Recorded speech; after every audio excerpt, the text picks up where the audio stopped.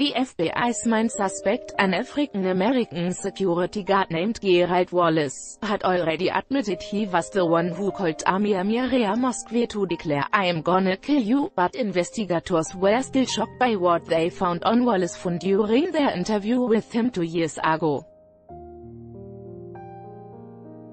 Wallace a 35-year-old black man had called the Ku Klux Klan over and over again because, he told investigators, I do like what they are saying. What is the part that you like about their message? A detective from the city of Miami Gardens Police Department wanted to know. What they say about Islam. Wallace insisted. I hate Muslims. Wallace's odd case would be comical, like something out of a Chappelle's Show skit if it weren't so troubling, AUS.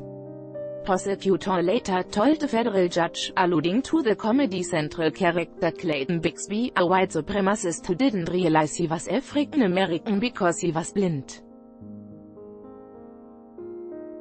In a February 2017 interview with a police detective and FBI agent, 35-year-old Gerald Wallace discussed his threat to a local mosque and his like for the KKK's message about Muslims. Wallace's embrace of the Ku Klux Klan, despite the group's notorious history of killing and targeting African Americans, is an extreme example of just how potent Islamophobia has become inside the United States and around the world. The two most recent years of FBI statistics reveal the highest number of anti-Muslim assaults ever recorded in America, a threefold jump from a decade ago.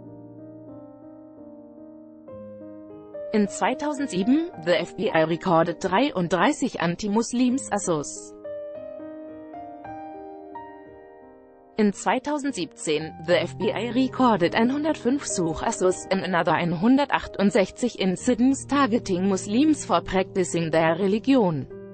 One of those additional incidents was Wallace's threat to the Islamic Center in Miami Gardens. He ultimately pleaded guilty to obstructing the free exercise of his victims' religious beliefs, and he was sentenced to one year behind bars. He was released last year.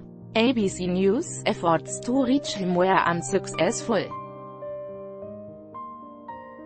In the wake of Friday's massacre in New Zealand that left 50 Muslim worshippers dead, Americans are grappling with Islamophobia in their own communities and discussing how to stop it from metastasizing even more. AP. Ambulance staff take a man from outside a mosque in central Christchurch, New Zealand, Friday, March 15, 2019. A witness says many people have been killed in a mass shooting at a mosque in the New Zealand city of Christchurch. It's absolutely necessary that we don't wait until we have horrific situations like New Zealand. Do pay attention to this issue, Dr. Abbas Barzegar, the research director at the Council on American-Islamic Relations, said at a press conference on Friday. Stats paint a stark picture on Assos against Muslims. Anti-Muslim Assos account for a small fraction of hate-based Assos reported to police each year, but Muslims overall account for an even smaller fraction of the total US. Population, as reflected in findings from the FBI and Gallup organization. Accordingly, Muslims are three times more likely to be assaulted for their religion than Jews, who themselves have increasingly become targets in recent years peaking at 100 antisemitic assos in 2015.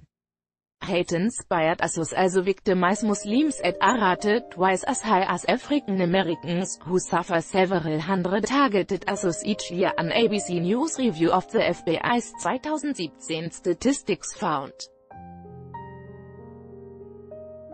In January, police in upstate New York arrested four white teenagers for allegedly plotting to attack a large Muslim community nicknamed Islamberg.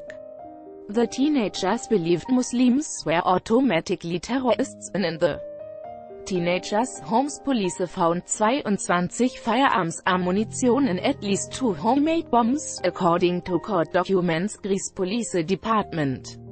Vincent Vetromile, Brian Polaneri and Andrew Kreisel in police handout photos. Their collective intention was clear, kill as many members of the Islamberg community as possible, the court documents said. The teenagers now face conspiracy-related charges. Also in January, two white men from Illinois pleaded guilty to federal weapons charges after detonating a bomb at a mosque in Bloomington, Minnesota. No one was injured in the incident but the men wanted to let Muslims know you are not welcome here. One of the men, 29-year-old Michael McWhorter, later told authorities, according to charging documents. If Altman charged in the case is awaiting trial. Islamophobic rhetoric has crept into mainstream, former counter-terrorism officials who've served during both Democrat and Republican administrations believe the rise in hate stems from the rise of social media, while others warn more traditional media and even politicians also play a role. In his interview with police two years ago, Wallace said he started to mistrust Muslims and believe most of them are terrorists after the Sept. 11-2001 attacks. Then, more recently, he'd seen some people on Facebook and elsewhere online who share his anti-Muslim views, and he posted his own hate-filled messages about Muslims on YouTube. During the 2017 interview, Wallace said he decided to threaten worshippers at the Miami Area Mosque after watching a morning TV program that made him angry and fed up with Muslims. Platforms like Facebook, YouTube and Twitter have few barriers to entry and few standards for exit, former Homeland Security Secretary Johnson told ABC News on Sunday. Islamophobic rhetoric has even crept into mainstream radio programs and TV shows, Barzegar said. Just last week, Fox News Channel host Judge Jeanine Pirro was widely condemned for questioning on air the patriotism of Rep. Ilhan Omar, a Democratic lawmaker who is a Muslimama Icon woman. But as Muslim advocacy groups see it, political leaders inside the United States, including President Donald Trump, share at least some blame for what CIS executive director called the growing menace of Islamophobia and hate. We hold them accountable because their words matter, the executive director, Nihad Awad, said Friday. Their policies matter. They impact the lives of innocent people. When Fox News ended up suspending Pirro show on Saturday, one day after the New Zealand attacks, Trump called on the network to bring back Pirro and stop working so hard on being politically correct as he tweeted Sunday, Carolyn Lancaster, AP. President Donald Trump and First Lady Melania Trump walk leave after attending service at St. John's Church in Washington, D.C., March 17, 2019. The White House has denied responsibility for any rise in hate and Trump said Friday he doesn't see white nationalism as a growing threat around the world. I think it's a small group of people that have very, very serious problems, Trump said. Condemnation must be backed up by action. Lawmakers, advocacy groups and others have proposed an array of ways to fight Islamophobia and other forms of hate. Former Secretary Johnson said that while robust law enforcement efforts and community partnerships are important, internet providers and online platforms need to start engaging in self-regulation. It's incumbent upon them to be vigilant when it comes to hate speech content that violates their very own terms of service, he said. Barzegar, meanwhile, said members of Congress must more than simply speak out against hate.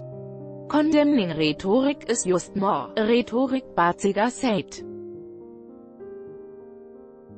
It has to be backed up by action, specifically, lawmakers must pass legislation requiring state and local law enforcement agencies to report hate crime-related data to the federal government, according to Barzegar. Currently, FBI statistics are mostly compiled from information volunteered by state and local agencies.